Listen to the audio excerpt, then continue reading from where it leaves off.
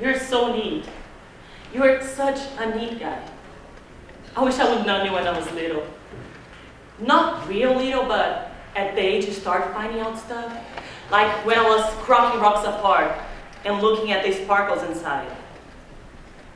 Or when I first put my finger inside me and I felt wonderful. Hmm. I would have took you to this real neat hideout I had when I made a waterfall with tires and shit in my own hut. We could have taken our clothes off and I could look at your dinger and you could show me how far you could piss. I bet you would have protected me. People were always giving me shit. You know what?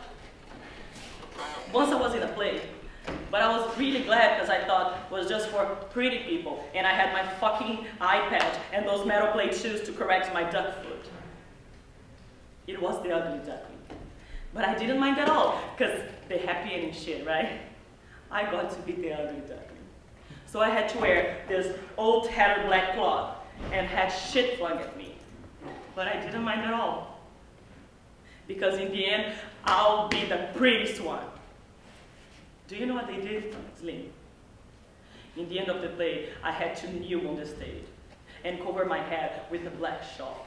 And this pretty blonde-haired girl, dressed up in a white ballet dress, rolls up behind me as this one.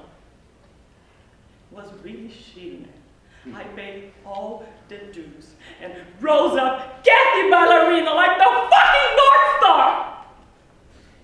And afterwards, all the parents could talk about was how pretty she looked.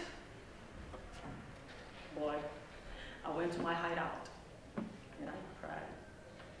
I cried a lousy fox. I wish you were around then. I bet you would have protected me.